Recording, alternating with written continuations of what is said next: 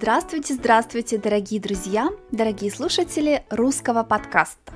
Добро пожаловать в русский подкаст. Меня зовут Татьяна Климова. И если вы хотите получать видео и подкасты каждые пять дней, приходите в мой клуб «Русская дача» для самых позитивных и мотивированных людей. А сегодня мы будем говорить о самом прекрасном, самом невероятном природном явлении. Это северное сияние. Природный, природное значит то, что мы видим на природе. Это географический феномен. Это может быть что-то в небе или в лесу или на земле.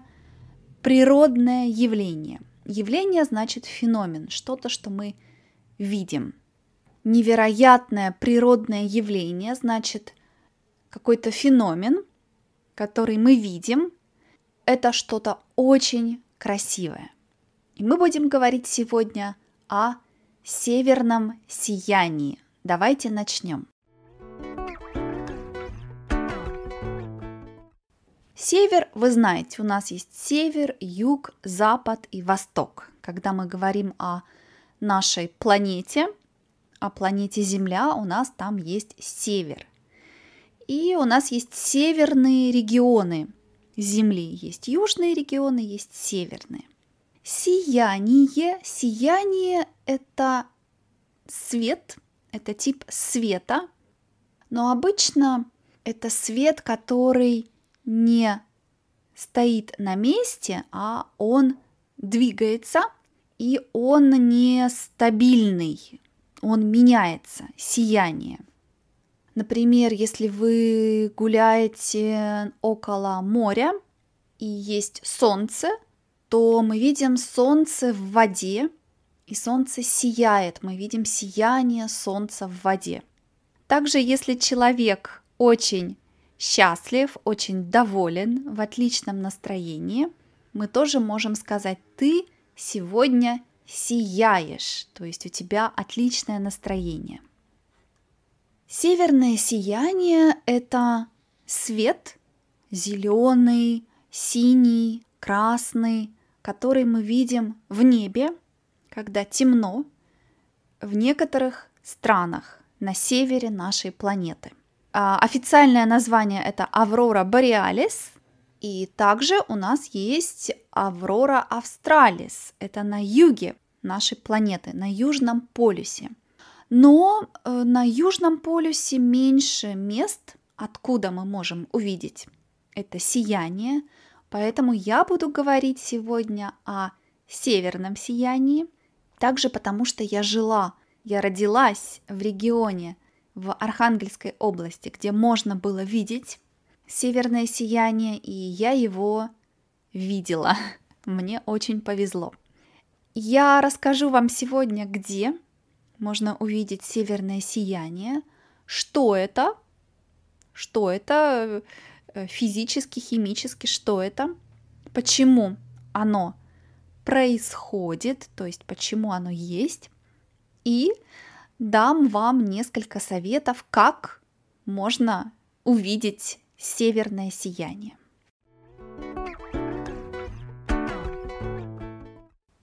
Как я уже сказала, северное сияние можно увидеть вокруг полюса, вокруг северного полюса. У нашей планеты есть два полюса, северный и южный. И есть страны, территории которых находятся вокруг Северного полюса. Это Норвегия, Швеция, Исландия, Канада, например, Юкон, Гренландия, конечно, США, например, Аляска, и Россия также. Конечно, Россия очень большая, это самая большая страна в мире, поэтому обычное северное сияние можно увидеть только в регионах России вокруг Северного полюса. Я скажу вам еще конкретно, какие регионы. Это не так много стран, не так много регионов, Поэтому, если вы хотите увидеть северное сияние, нужно поехать туда. Что такое северное сияние? Как оно появляется? Мы с вами видим на Земле такое прекрасное, невероятное, невероятный свет в небе, но на самом деле это физический процесс, электрический процесс между Солнцем и Землей. Земля — это наша планета. Северное сияние — это солнечный ветер. Мне кажется, очень красиво. Солнечный ветер. Обычно мы с вами видим и чувствуем ветер на нашей планете, но когда на Солнце происходит взрыв, вспышка, то от Солнца идет солнечный ветер. Взрыв это такой бум. Вы знаете, что Солнце это магма, это очень жаркая звезда, очень активная, и там происходят, то есть там есть взрывы и вспышки. Взрыв это как бум, как динамит. И вспышка, мы можем сказать, это свете, например, у фотоаппарата есть вспышка, как, когда очень темно, мы используем вспышку. Это такой очень интенсивный момент света. Кстати, слово вспышка также может быть абстрактным. Например, вспышка гриппа. Это когда в одном конкретном месте у нас много людей болеют гриппом. Мы говорим вспышка гриппа. Вспышка. Хорошее слово. А, на Солнце есть вспышка. Разные элементы от Солнца летят к Земле. Эти элементы мы говорим частицы. Частица – это очень элементарный маленький элемент, вещь, база для э, других вещей. Это протоны и электроны. Дорогие слушатели, я не специалист в физике, в электричестве, поэтому я вам говорю, что я прочитала в интернете. Протоны и электроны от Солнца летят к Земле очень-очень быстро, миллион миль в час. Солнце очень далеко от нас, к счастью, да. Миллион миль в час. Это как быстро они к нам летят. А, кстати, первым, первым человеком, который начал думать о северном сиянии и объяснил северное сияние, был Михаил Ломоносов, очень известный э, русский ученый и физик. И, кстати, он родился недалеко от моего родного города. И я думаю, что он видел это северное сияние, конечно, если он жил в Архангельской области и, наверное, думал о нем. И он первым предложил идею, что, может быть, это электричество, там есть какая-то электрическая Э, есть электрический феномен, электрическое явление. И это правда, потому что протоны и электроны — это частицы электричества. Частицы значит элементы. А обычно, когда на Солнце вспышки и эти частицы, этот ветер летит к Земле, у нашей планеты есть магнитное поле, магнитосфера, которая нас защищает от солнечного ветра, от частиц Солнца. Поле значит зона. Магнитное поле значит магнитная зона, территория. Мы говорим магнитосфера. Защищает значит говорит стоп, нельзя электроны, протоны, э, нельзя сюда заходить, нельзя заходить в атмосферу, до свидания. И обычно мы не видим, не чувствуем э, эти частицы от Солнца. Но иногда у Солнца очень-очень сильная активность, магнитная активность, и Солнце нам отправляет больше этих частиц, электронов, протонов, больше ветра, чем обычно. И тогда наша магнитосфера не может нас защитить, то есть не может сказать стоп, И мы видим, мы видим этот ветер, но только на полюсах. Я смотрела видео специальное, и это такая интересная, интересная система, как это работает, но факт это то, что этот ветер, он только на полюсах, на южном и на северном полюсе.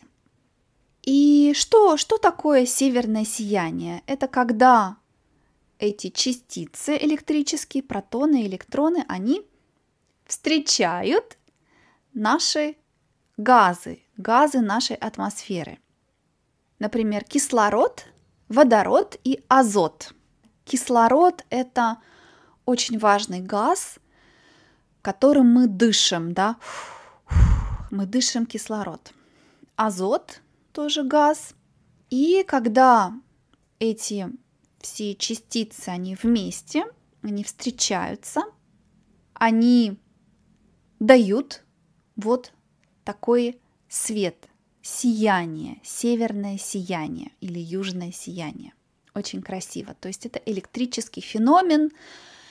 Я видела, дорогие друзья, я видела северное сияние, потому что я родилась в Архангельской области.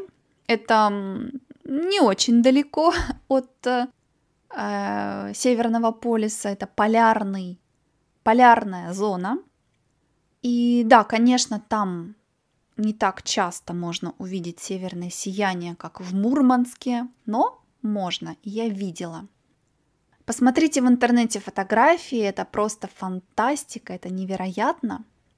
Какие формы могут быть у северного сияния? Иногда это просто свет, зеленый, красный, фиолетовый свет, как э, когда утром мы видим небо, но иногда это могут быть очень интересные формы.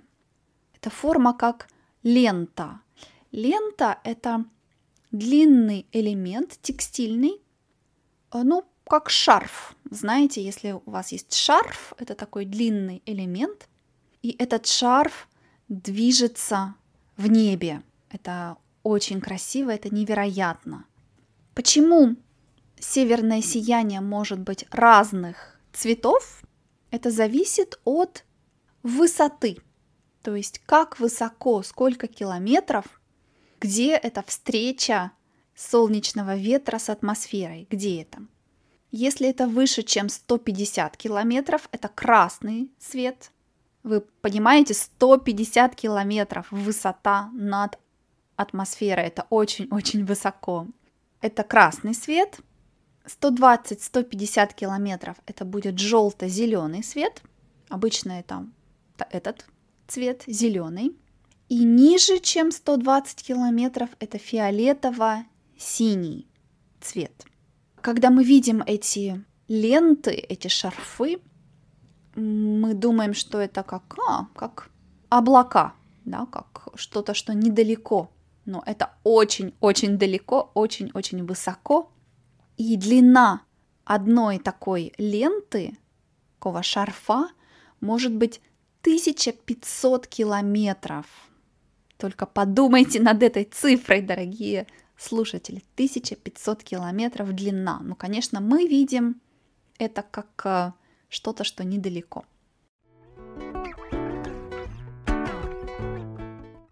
Несколько советов теперь, как можно увидеть северное сияние.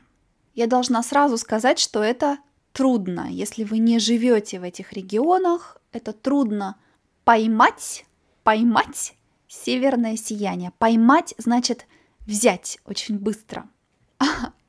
Одна моя знакомая русская мне рассказала такую историю. Знакомая значит не подруга, но просто женщина, которую я знаю. Ее муж, француз, хотел сделать ей сюрприз. Он хотел, чтобы она увидела северное сияние. И он выбрал период зимой, и они поехали, полетели в Мурманск. Мурманск, Мурманская область – это самый-самый-самый-самый север России. Это легендарный северный город. Кстати, место, регион, где находится этот город, это Кольский полуостров. Кольский полуостров.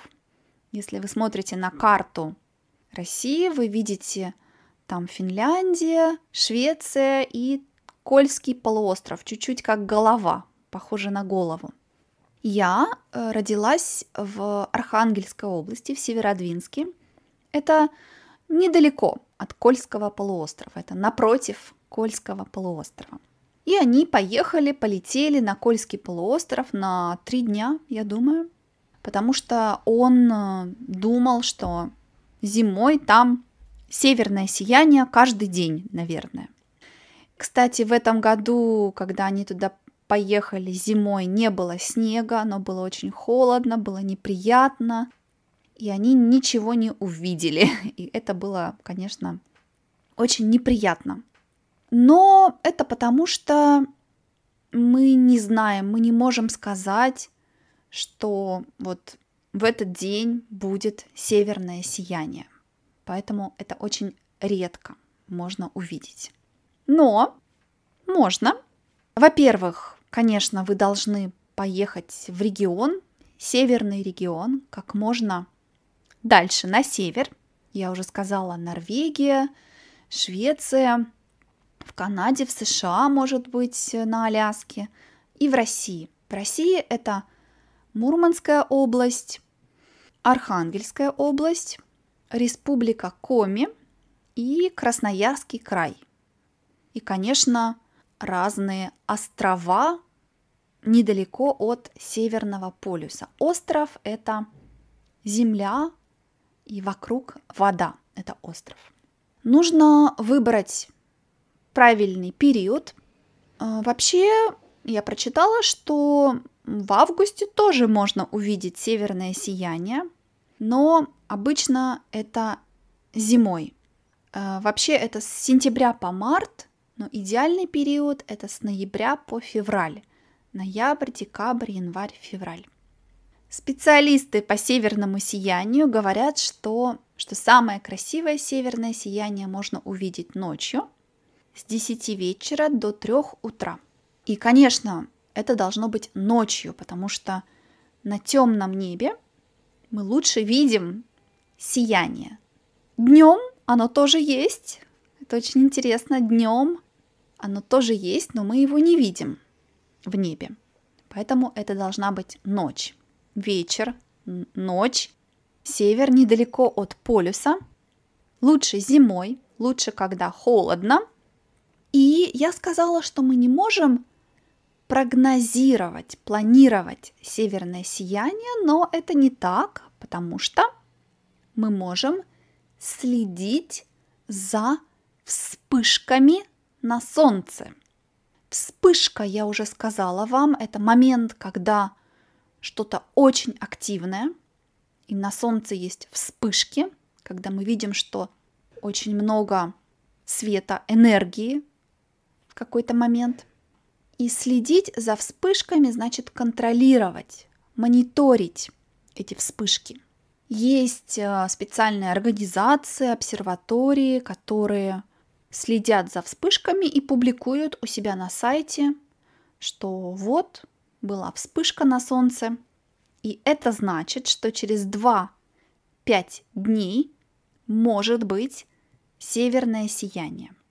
Почему 2-5 дней? Потому что этот ветер солнечный, он идет, летит до Земли от 2 до 5 дней. Минимум 2, максимум 5. И это значит, что если вы живете, например, в Санкт-Петербурге или в Москве, и вы смотрите на сайте, вы видите, что на Солнце была вспышка, вы можете планировать путешествие на север, Архангельскую область, в Мурманскую, чтобы, может быть, увидеть там северное сияние.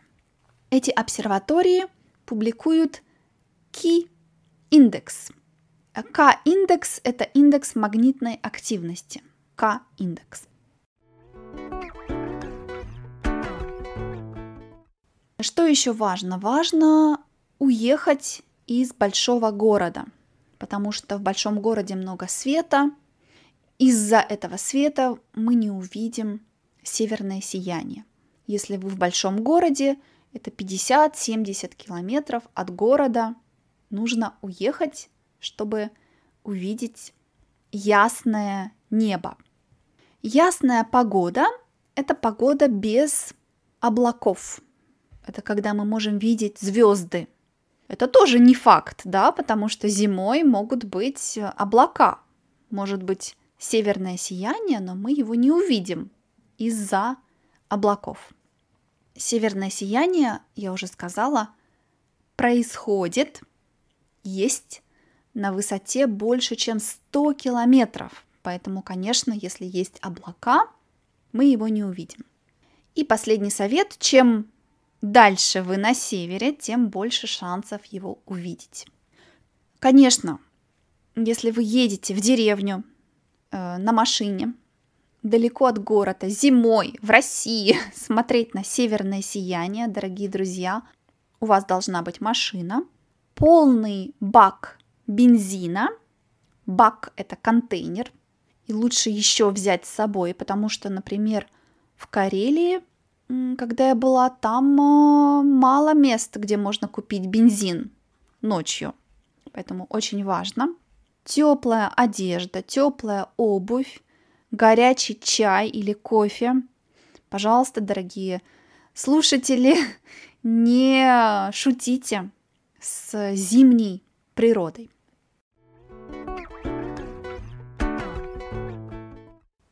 Вот так. Я надеюсь, что я вам дала желание увидеть северное сияние.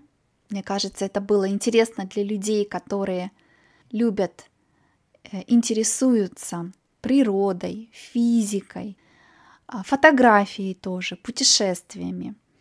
Я видела, что есть страны, например, Норвегия, Финляндия, Швеция и тоже США на Аляске, которые предлагают невероятный опыт, невероятно интересные вещи в момент, когда есть северное сияние. Например, я видела, что в Швеции, я думаю, вы можете э, несколько дней жить в домике, в маленьком доме, в лесу, в деревне, где потолок прозрачный. Потолок это в доме то, что над вами, над вашей головой.